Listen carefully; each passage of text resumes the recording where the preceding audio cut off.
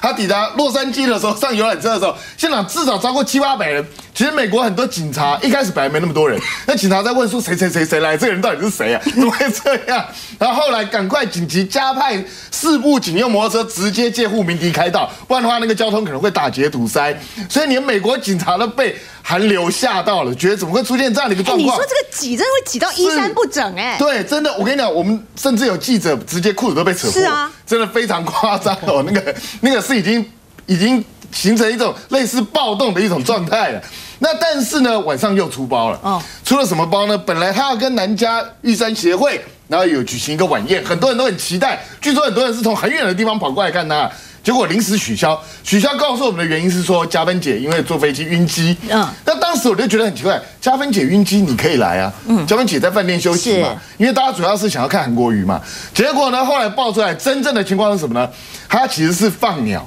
他真的是放鸟，把大家都放鸟了，然后呢？改跟他四十年多年前的儿时玩伴玩伴参叙啊，我是觉得当然人很重友情，是那也很希望大家这么多年没见了，可是毕竟是原先已经预定好了这些行程哦，我相信可能韩粉因为这样对韩国瑜本身热情不减，嗯，可是我觉得韩国瑜如果你真的有雄心想要挑战二零二零的话，很多这种细节真的要还要厘清，不能够再让太多人失望。没错，呃，我不知道韩粉在不在意啦，或许很多韩粉对于这个韩国瑜放鸽子是不。在意的，而且嗯，很多人可能会帮他解释说，那。这还是要吃饭嘛，饭还是要吃啊，是不是？我觉得这这一趟哦，我们从两个层面来看呢，一方面是说，呃，这一些侨胞欢迎、热烈欢迎韩国瑜的程度哦，这个真的是也创了这个蓝营政治人物里面的记录。过去其实马英九也非常受欢迎，但是马英九受欢迎的程度跟韩国瑜这次在 L A 激进暴动的这种挤的情况，就是说无论如何要见上他一面的这种情况。这个大概有一种程度上面的差别，就是过去欢迎马英九，大概就是很有秩序的排排站，然后一样是挥舞。那这个不是，这个叫做争先恐后，就是想要去看这个韩国语这样子。那所以你可以看得出来，韩国语的非典型哦，就是大家想要目睹这个非典型的蓝营的政治人物，抢着看这个秃头的 这个市长哦。那这这个是好的一面，就是说哦，侨胞的这种簇拥的程度、热烈的程度非常的棒。但一方面考。考验韩国也是说，他整个的团队，包括这整个行程的安排，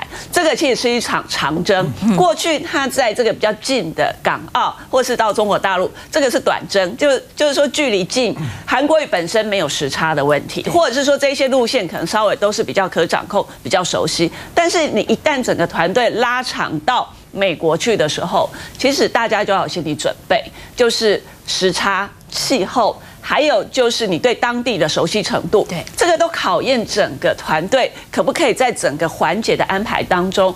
避免这种错误或者是这种误差降到最低。那从呃这个在波士顿没有办法到早餐的这件事情，其实很多人都会有一点点质疑。嗯，质疑的地方是在于说。照道理来讲啊，其实一个专业的这样的一个出访团，你任何的在在这个都有一个前线的所谓采线人员，采线人员就是说从这一点到那一点，它的路线你一定是很精准的掌握是怎么走。所以即使你遇到一个很两光的司机，其实照道理来讲，那一台车上要有一个是事先已经踩过点，他知道路线怎么走的人。那我就有点纳闷，说为什么这一次？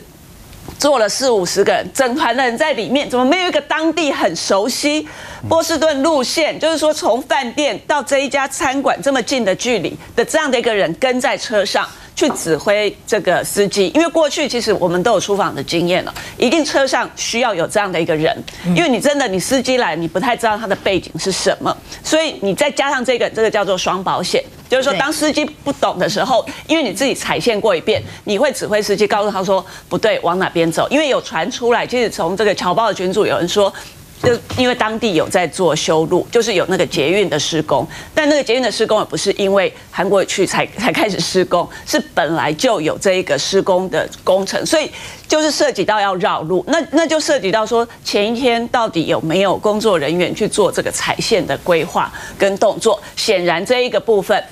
并没有做到位。那今天这个是一个早餐会，你你能想象，如果今天这是一个可能很重要的美方的众议员在现场等啊，然后你告诉对方说，因为我到不了，因为那个司机迷路，我我已经一个半小时，说放就放吗？是对，我觉得那个都都是会让对方没有办法去接受的。那因为还好这个是侨胞，是，所以大家在情感上。都比较快接受，但你要想象，如果万一是是美方的官方人员呢？你说你迷路了，整团人都迷路了，就大家一定会觉得说，哎。怎么会发生这样的一个失误？所以我觉得这一点其实是呃，给这个韩国整个团队啊，也也从这一次长途跋涉当中，你会遇到状况，各种状况你都必须设想在里面，然后要从这边得到一些实质的这个学习啊，要不然将来韩国如果说真的要角逐二零二零总统大位，你知道他现在是全国这么受关注的一个人，他任何的行程，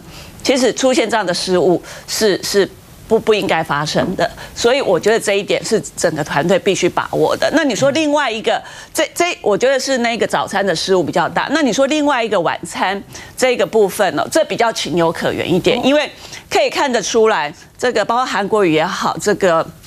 加分姐也好，他们两个可能都有点。长途跋涉有点这个适应上有点不良，所以身体的状况都不好。那你如果说身体状况不好的时候，硬要去出席那个呃，他他也是一个私人的晚宴，但是对方都是企业家，你可能在现场你会有那个压力，是。然后你又要公关，然后又要跟大家寒暄，然后可能要逐一拍照，你知道那个就是一个相对比较公关有压力的行程。那当他身体状况不佳的时候，他改由是市府的。因为叶匡时也有去嘛，他也是副市长层级的，他带着其他的人去赴宴，我觉得还说说得过去。那他现场气氛据说就差了很多。对对对，然后他他他改他改就是说，因为身体不舒服，然后就是所以。用跟自己的朋友的聚会，因为朋友可能给他一些打气啊、温暖，他这时候需要是这个，可能不是一个有压力的活动场合。韩粉可以体谅，韩粉可以不在意，但是韩国瑜不能不在意嘛。包括大家讲说，如果接下来他真的要角逐二零二零总统大位的话哦，那你的团队在这个部分是不是应该要更谨慎、更上紧发条？尤其像是迷航记，这个怎么想怎么看，你都会觉得，哎，幕僚是不是该打屁股？其实主要的原因还是因为短的时间里面行程排得很紧凑，所以只要一个有闪失，后面可能都受到影响了。那当然这几天有一些状况，我今天上午来录影之前传了一个讯息给其中一个随团的有台记者，问他之前状况还好吗？他只回我四个字，叫做我快暴毙。大家就可以想象一下，不止韩国人累，随团的人也很累。但是你反过来讲，随团的人都累成这样，何况是主角本人？他还有全英文的演讲，还要给大家问好问满，然后还要来侨胞的这些参会，所以其实他本人的疲累程度。真的是可想而知。那最主要的原因还是九号出发，十七号回来，八天的时间，光是参会就排了六七场的这个侨胞参会。当然，这市长本人的人气爆棚，然后桌桌都爆满，当然花的时间就会比较多一点。可是真的也太辛苦了。就像出出问题的这一场哦，晚上参会吃完。早上早餐会也要，对不对？那吃完之后还要马上去搭机，就环环相扣。只要一个东西迟了，接下来可能连环都受到影响。说真的，就是一般的大型餐会三四个小时，那这个主角参加完之后，可能就回去休息了，隔天不一定会排行程啊。前一任的高雄市长陈菊，我也曾经随团一起去采访过，到日本熊本去，还没有什么时差的问题，因为跟台湾只差一个钟头。通常啦，他的行程散到什么程度，你知道吗？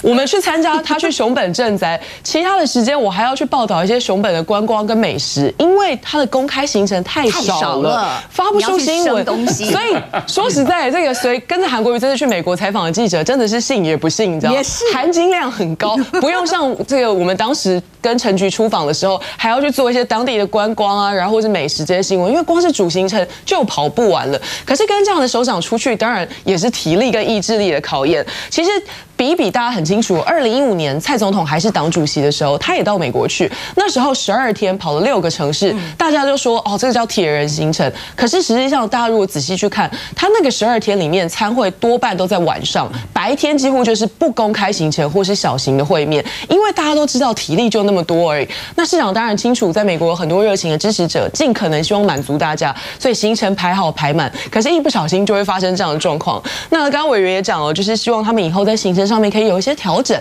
那我相信高雄市政府里面有很多资深媒体人，今天看到这个状况这一回之后，我相信他们知道，如果下一次再去的话，要怎么样做适度的调整了。不过我是在想哦，如果下一次去的时候，韩市长已经换了一个身份，那恐怕又要另当别论了。